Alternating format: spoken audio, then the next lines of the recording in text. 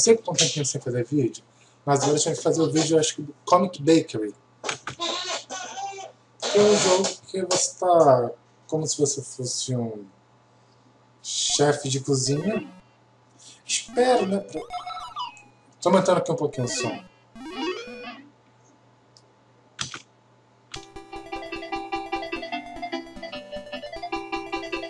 E por algum motivo está cheio de baixinho na, na sua confeitaria. O que é muito anti-higiênico.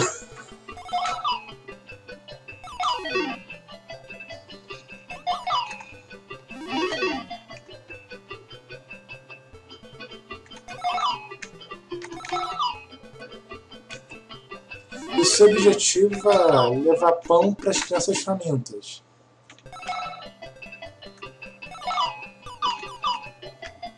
Tem que levar no mínimo quatro pães.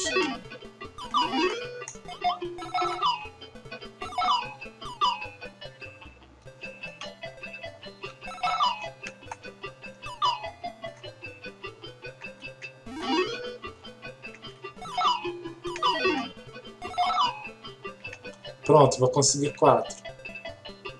Pronto, essa quantidade é a quantidade mínima para você passar de fase antes que o caminhão chegue lá vá transportar os croissants. Mas claro, se eu puder fazer mais de quatro pães, melhor, né? Mais ponto. E tá essa musiquinha no fundo.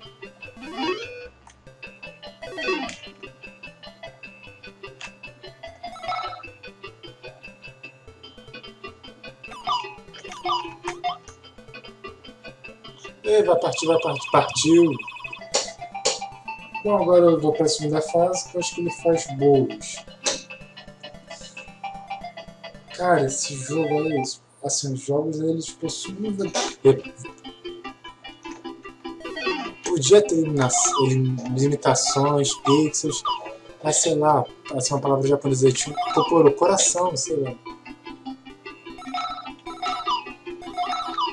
É um jogo que tem alma.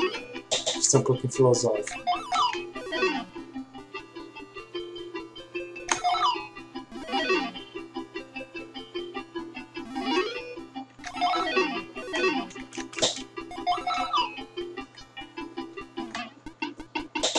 Ah, é, também, além dos pães que eu tenho que produzir, eu tenho que ter vidas.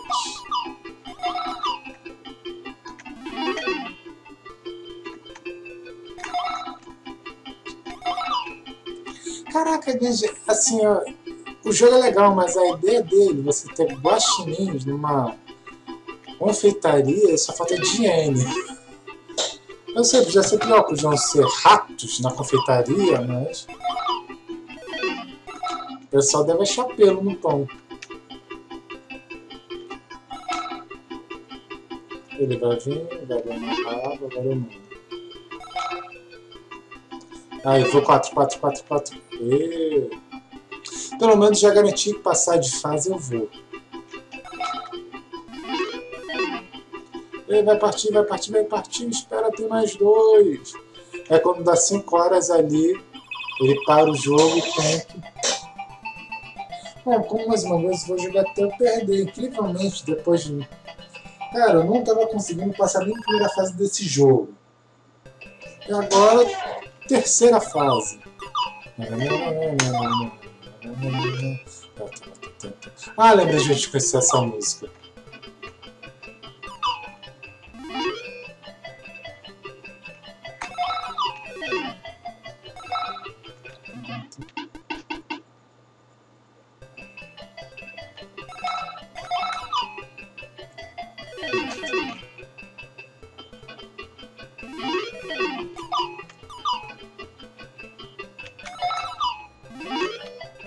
Sentindo que parece que, os olhos não veem, o coração não sente nesse jogo.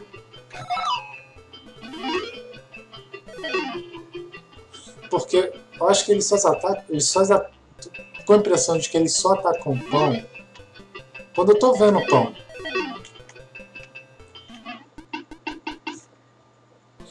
Padaria, boa noite.